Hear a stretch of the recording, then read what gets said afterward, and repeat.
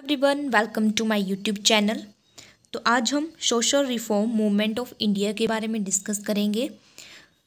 भारत के समाज सुधार आंदोलन। तो फ़र्स्ट है हमारे पास ब्रह्म समाज। ब्रह्म समाज की स्थापना राजा राम मोहन रॉय ने की थी, जो कलकत्ता में की थी 20 अगस्त 1828 ईस्वी में। ब्रह्म समाज की स्थापना राजा राम मोहन ने कलकत्ता में की थी। और इनको भारतीय पुनर्जागरण का मसीहा भी कहा जाता है। इन पूरे जो आज हम टॉपिक डिस्कस करेंगे, इसमें मैंने मेन मेन पॉइंट्स ही डिस्कस किए हैं, जो कि एग्ज़ाम पॉइंट से इंपॉर्टेंट है। और 1814 में आत्मीय सभा की स्थापना भी इन्होंने की थी। हिंदू कॉलेज की स्थापना इन्होंने 1817 ईस्वी में की थी।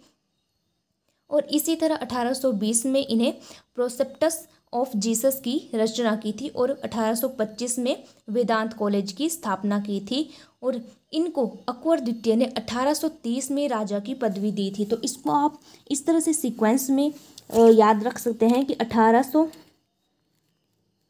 चौदह ईस्वी में इन्होंने आत्मीय सभा की स्थापना की थी, फिर आया 1817 जिसमें इन्होंने हिंदू कॉलेज की स्थापना की थी, फिर उसके बाद 1820 जिसमें इन्होंने वेदांत कॉलेज की स्थापना की थी और उसके बाद 1800 1820 में इन्होंने प्रिसेप्टस ऑफ़ जीसस की रचना की थी और फिर उसके बाद 1825 में इन्होंने वेदांत कॉलेज की स्थापना की थी और 1830 में इन्होंने इनको अकबर द्वितीय ने राजा की पदवी दी थी और इंग्लैंड भेज दिया था।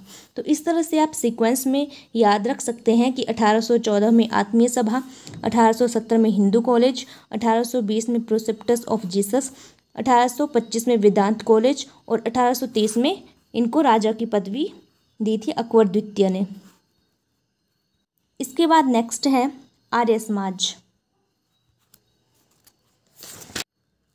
आर्य समाज की स्थापना स्वामी दयानंद सरस्वती ने अठारह पचहत्तर ईस्वी बम्बई में की थी और इन्होंने कहा था कि वेदों की ओर लौटो। तो इस तरह से ये क्वेश्चन बहुत बार पूछा भी गया है कि ये किसने बोला है कि वेदों की ओर लोटो? दैट इज़ स्वामी दयानंद सरस्वती ने। और स्वामी दयानंद सरस्वती का बचपन का नाम मूल शंकर था और इनके गुरु का नाम स्वामी विरजानंद था।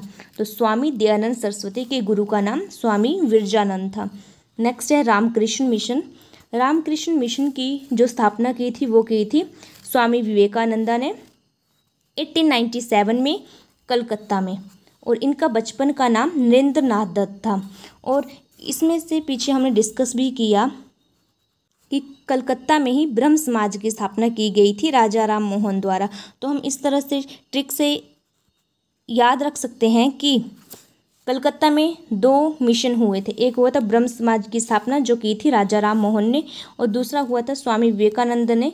1897 में रामकृष्ण मिशन की स्थापना की थी कलकत्ता में। नेक्स्ट है प्रार्थना समाज। इसकी स्थापना महादेव गोविंद रनाडे और आत्माराम पांडुरंग ने की थी 1867 में। नेक्स्ट है सत्य शोधक समाज, जिसकी स्थापना की थी ज्योतिबा फूले ने 1873 तो इनमें से क्वेश्चन पूछा भी गया है। तो this is all about today's topic thank you